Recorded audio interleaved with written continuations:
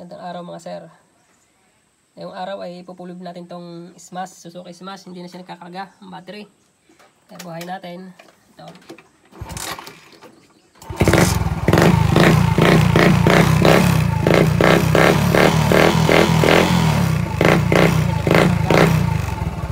Hindi na siya nagkakarga ang battery natin kaya hindi na gumagana ang mga busina niya.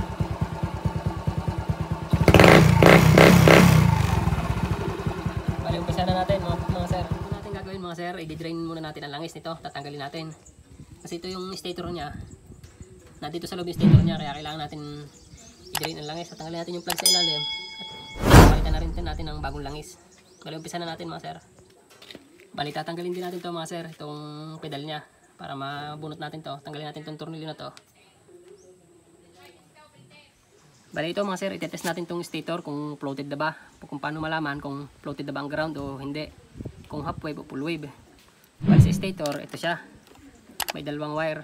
Itong white na may red at itong yellow na may white. Bali ito yung galing stator. Ito kasing green at saka blue. Pulsar to at ground. Bali itetest natin to kung floated na ba siya o hindi. Ilagay natin to, test probe sa continuity. Pag nag-buzzer na ganyan, ibig sabihin connected pa siya itong white, itong isang test probe, ilagay natin sa yellow, sa lighting, tapos ang isa sa body.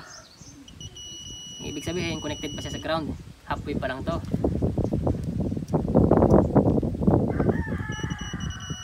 Ang full wave, kailangan floated yung ground. Floated yung ground. Kailangan wala siyang ground. Body ground. Bali, ganun yung gagawin natin ngayon. Bali, umpisa na natin tanggalin tong crankcase. Bali, sa pagpo-full wave nitong stator, mga sir, ito. Yung white na may red. Ito. Hindi na natin ito gagalawin. Sa charging siya. Ang gagalawin natin ito. Itong yellow. Tapos dalawa yung magnetic coil na connected sa kanya. Ang gagawin natin tapos natin to. Tapos ito ito yung connected sa ground sa body ground. Itong magnetic coil na connected sa ground gagawa tayo ng wire i-connect natin dito. Okay Bale, ito na mga sir.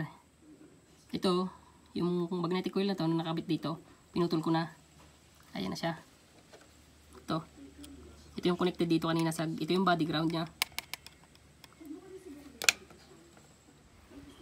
Paano ba natin malalaman kung ito nga yung connected sa ground, sa body ground, itong magnetic coil na to, itong pinutol natin. Bale, simple lang. Ilagay lang natin dito sa continuity, itong multimeter. Okay. Ilagay natin na isang test probe sa, sa body niya. Tapos ito, doon sa pinag-connectan niya, ibig sabihin ito nga yung ground niya, yung body ground niya. Wala na siyang continuity ngayon dito sa coil. Bali ganito mga sir, ang pagpo-full wave, pinutol natin to, kailangan ihihinang natin tong isa na to dito. Itatas natin to. Kailangan connected siya rito. Ito papunta rito na wire, makakabit tayo ng wire. Bali ay ganun lang ang pagpo-full wave, floated na tong ground niya. At ganun din ang pagtetest kung ito nga yung ground niya o alin man dito sa tatlo na to. Bali, tama yung ating ginawa. Bali, puputulin na natin ito, itatas natin to, magkukunik tayo ng wire para i-connect dito. Bali, kung magkukunik kayo ng wire dito, kailangan lihahin nyo to.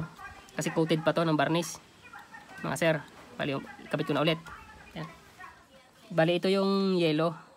Mga sir, tinanggal ko na siya dito, dito sa nakatap siya dito kanina sa dalawang magnetic coil. Itatas natin siya. Magkakabit ngayon tayo ng wire, i-connect natin dito. So, tinanggal natin dito kanina saka coil na connected dito sa ground, sa body ground. Bali, maghihinang muna tayo dito.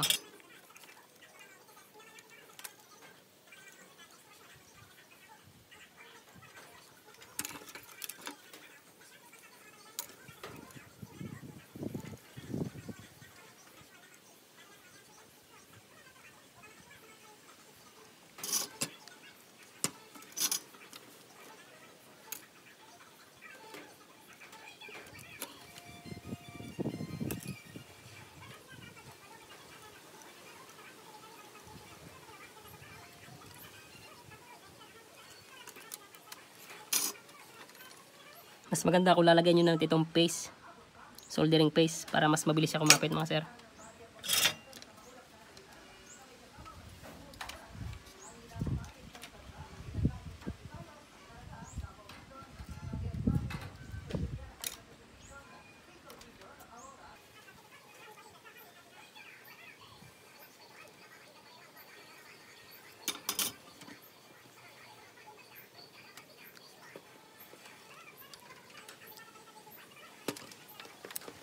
Testing natin, try nating i-test ngayon. Kailangan dito sa dulo natin pinaghinang para malaman natin kung kung kumapit talaga siya. Okay, tama siya. Okay. Floated na siya sa ground. Ito yung body ground. Wala na siya. Tsaka kung maghihinang kayo mga sir, kailangan ibuhay nyo, isaksak nyo na to para mainit na mainit na siya. Tapos, ang lalagyan natin dito ngayon mga sir, lalagyan natin siya ng cable tube. Dito. Bale, ito na mga sir. Ito yung magnetic coil na hininang natin kanina na galing dito. Ito yung galing dito. Yung magnetic coil na connected dito. Pinugtungan na natin ng wire. Nilagyan ko na rin ng shrink cable tube. Ito. Ayan. Optional naman yan kung gusto nyo electrical tape o shrink cable tube. Tapos ito. Ito, kita nyo itong tanggal na to. Itong yellow wire. Diyan natin ito i-connect ito. Itong wire na to. Ayan. Ihihinang natin siya mga sir. Bali, ito na mga sir. Nahihinang ko na. Ayan na siya. Yung yellow.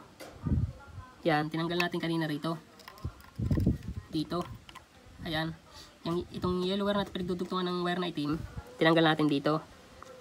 Tapos, nag-connect tayo ng wire. I-connect natin dito ngayon. Ito yung, ito. Ito yung coil kanina na connect dito sa ground. Ito yan. Body ground siya. Tinanggal natin, nilis natin. Kailangan kasi pag full wave, floated na yung ground. Ayan. Tapos lalagyan natin ito ng shearing cable tube. Ito. Ayan.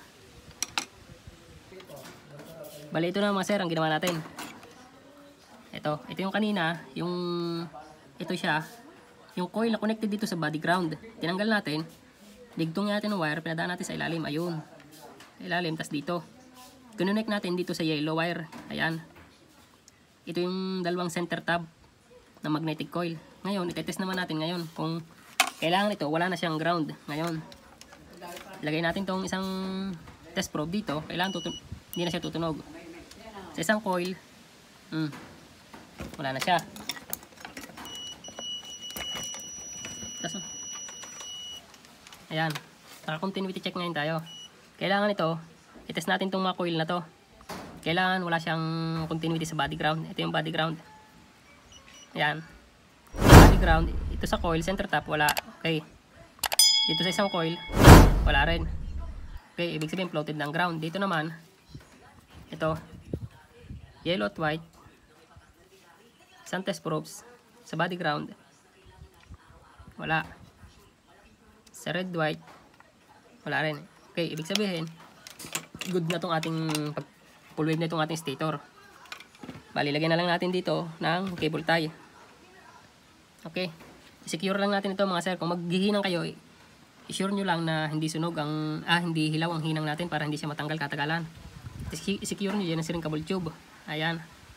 Ayan na siya mga sir. Bago natin ibalik to sa makina, ilinis, ilinisin natin to. Kasi may mga pollen object na nagpatakan sa loob, kailangan malinis para hindi kuman sa makina. Ayun lang mga sir. Bali, punta naman, ibalik na natin ito sa crankcase at lipat tayo mamaya sa regulator naman. Bali, ang ginawa ko mga sir, nilagyan ko siya ng cable tie para hindi siya gumalaw, para secure. Optional yan sa inyo kung gusto nyo, hindi. Basta sa akin, nilagyan ko ng ganyan para secure siya. Balik, ibalik na natin to mga sir. Mga sir, na ibalik na natin. Bali, ang gagawin naman natin ngayon, ito, yung wire na stator, yung yellow na may white at white na may red, tatanggalin natin. Kasi magpapagapang tayo ng wire ngayon dito. Dudugtungan natin siya ng wire.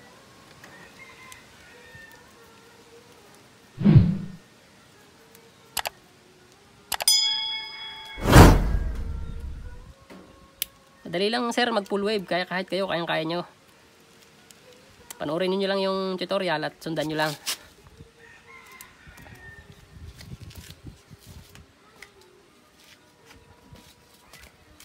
Ito, ito yung galing stator kanina. Tanggalin natin sa socket. Bali, ito na mga sir, tinanggalan natin. Yan. Balik, kakabitan natin ngayon to ng wire, dalawa, papunta doon sa may regulator.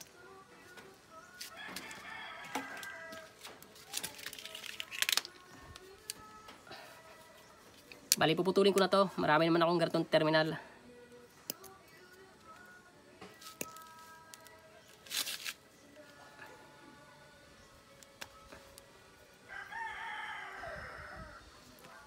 Kasi didirekta na natin to sa regulator.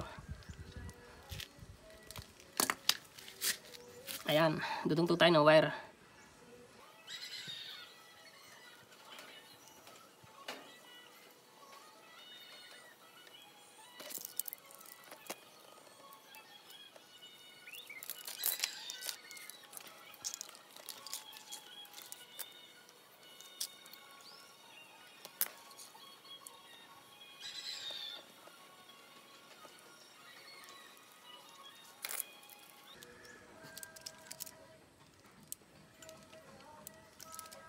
Bali, ang gamit ko nga pala mong wire mga sir, itong number 18 na marusin. Subok ko na to.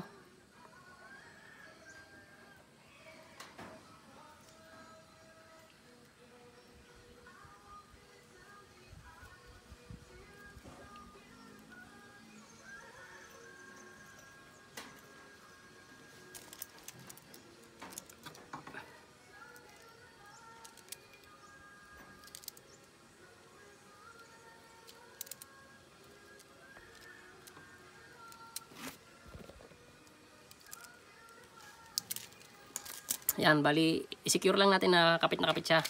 Tapos, lalagyan ko ngayon ng siring cable tube.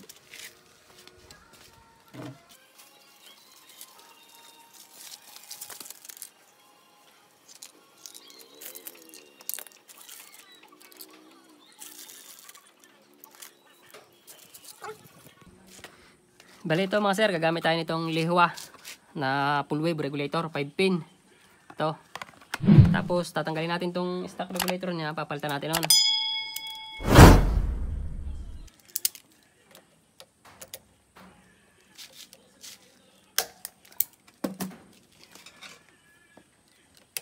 Dito rin siya natin ilalagay.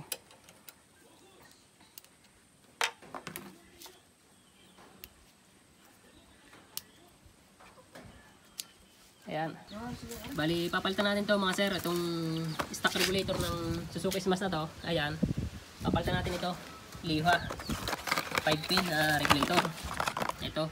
Mas maganda kasi ito mga sir kasi namamonitor niya ang voltahe na pumapasok. Nalilimit niya. Ito, pang full wave to, liho, lihwa. Sa atin siya ilalagay mga sir.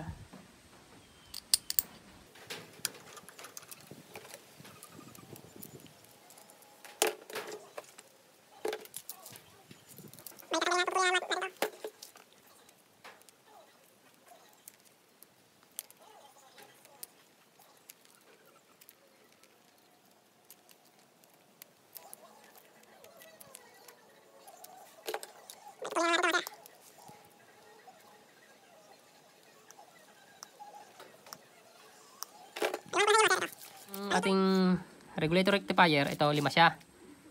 Ito. Bali itong black, kukonek natin to sa sa ano sa axle sa ACC sa accessory wire. Doon kung saan binuhay natin ignition switch saka siya ng paka-power. Tapos itong red diretso sa uh, positive ng battery. Okay? Tapos itong green sa negative negative ng battery. Tapos itong dalawa dito siya sa pinagapang natin na na wire na galing stator. Ito siya. Dun sa white at sa yellow. Okay?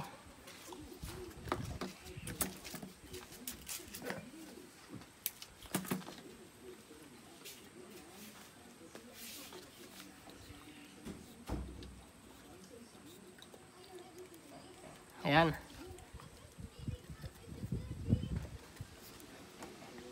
Bali, unahin muna natin tong white at yellow. Dito siya. Ito yung wire na pinagapang ko na galing kanina sa stator. Na kinabit ko. Sa white at yellow natin siya ikakabit mga sir. Kahit magkabalik ka dyan, walang problema.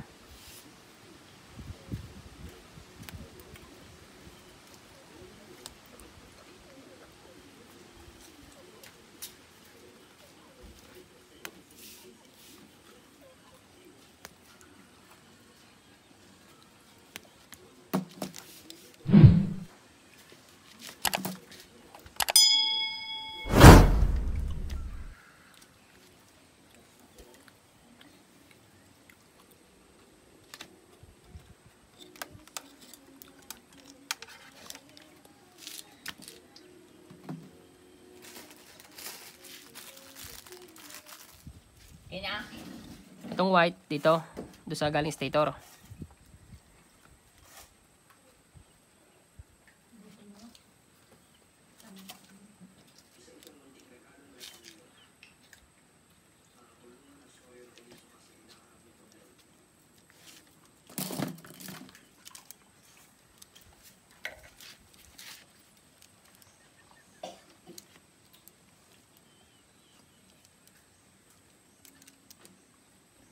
Tapos lagyan nyo na ng siring cable tube.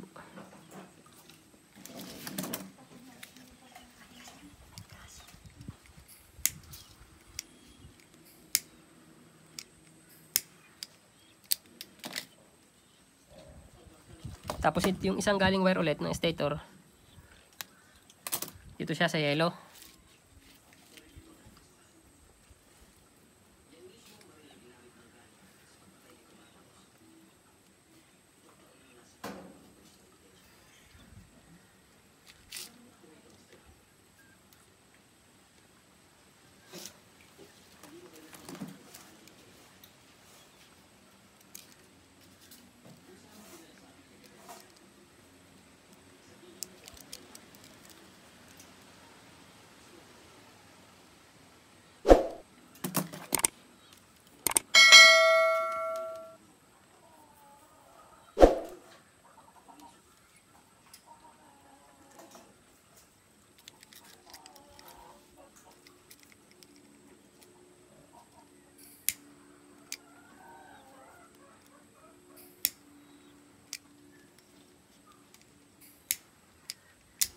Ayan. Ito yung galing stator, yung dalawa na wire.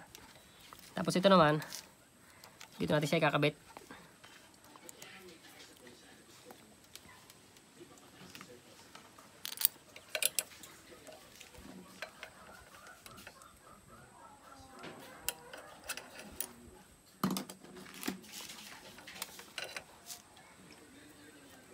Itong red, sa Suzuki Smash, diretso ito ng battery. Bali dito natin siya ikakabit. Bali sa sakit, dito sa sakit ng stock ng regulator ng SMAS, pinutol ko na to.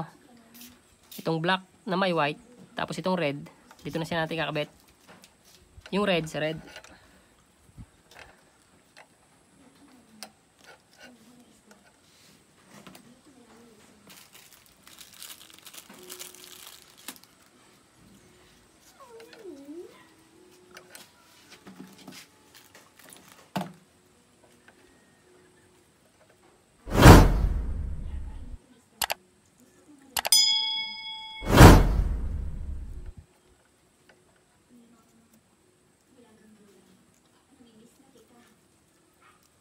Ito, itong red sa red, tapos itong itong black, negative to ng Suzuki Smash. Bali sa green natin siya kakabit.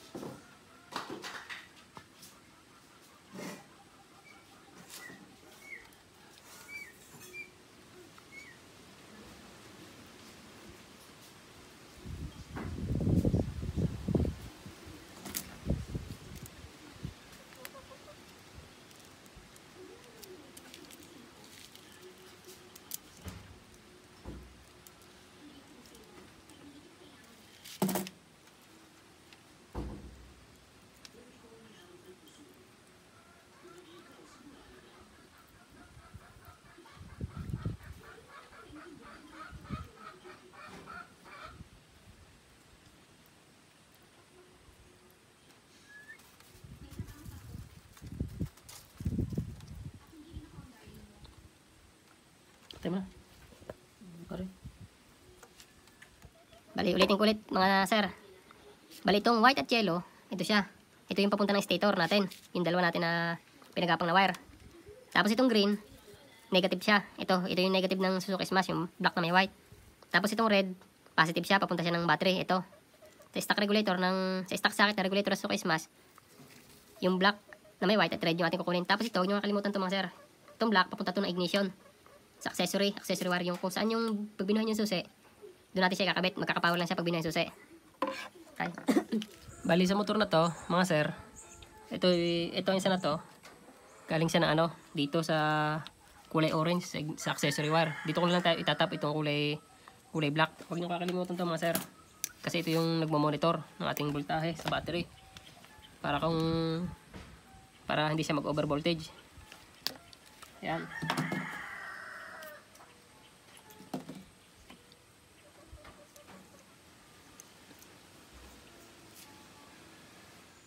Bali, ito na mga sir. Natapos na natin. Itong palitan na natin ng full wave rectifier. Ito. Ayan. Bali, panda rin na natin at sukatin natin ang voltahe ng motor na to.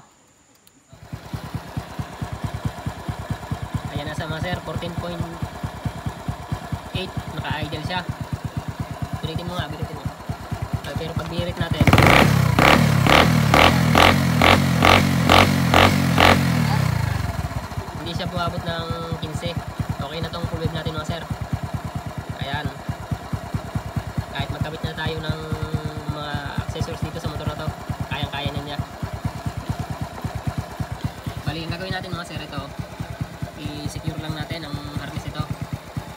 bali iba battery operated ko na rin tong motor na to.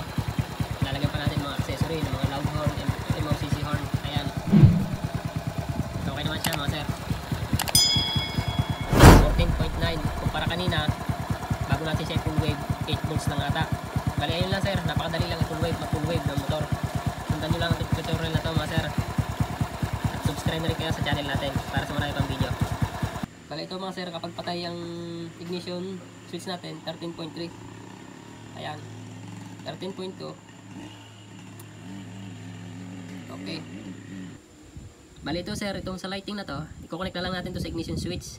Doon sa accessory, doon sa may power pag binuhay para battery operated na tong headlight natin. Kasi pinulog natin itong motor na to, ito kailangan naka battery operated na ang headlight natin. Okay? Yun lang mga sir, kakabit lang natin to sa ignition, sa accessory. Doon sa may power kapag binuhay natin ang susian.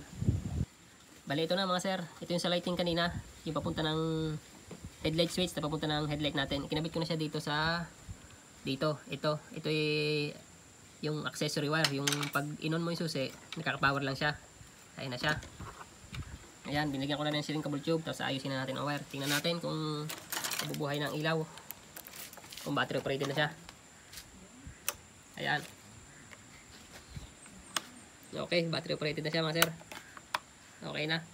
Depende, pwede rin naman ito mga sir kung saan malapit. Kung pwede dito sa may flashy relay, yung orange accessory yan ng Suzuki Smash. Pero mas prepare ko dito lang sa may ignition. Bali yun lang mga sir, tapos na yung ating pagpo-full wave. Napakadali lang, sundan nyo lang. Kung may tanong kayo, comment lang.